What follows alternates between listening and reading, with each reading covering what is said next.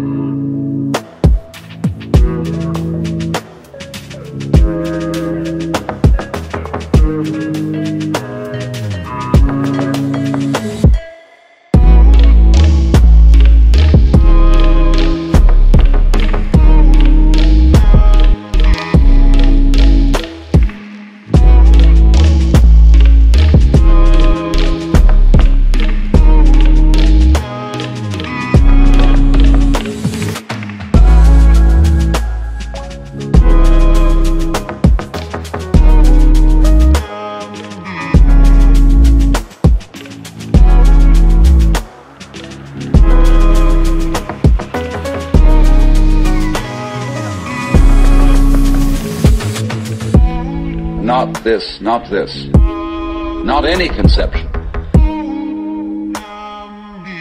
The highest state of consciousness in samadhi is called nirvikalpa samadhi, which means literally non-conceptual.